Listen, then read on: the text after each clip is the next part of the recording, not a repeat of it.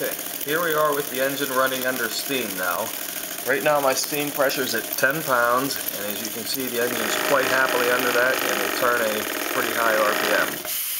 Now if I can get this to stop at top dead or bottom dead center, you can see the action of that lever. Of course when you want it to, there we go, we're locked at top dead center, advance the throttle, pushes it off, continues to rotate.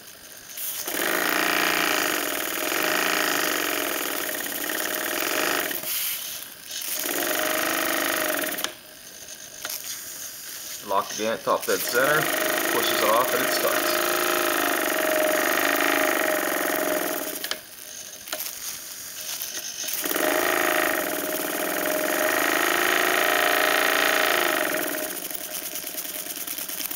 The engine turns a nice slow RPM as well as a nice top end to it.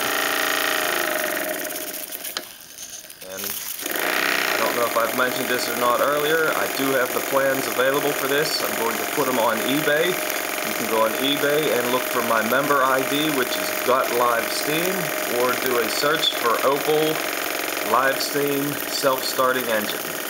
Thank you, and I hope you enjoyed the video.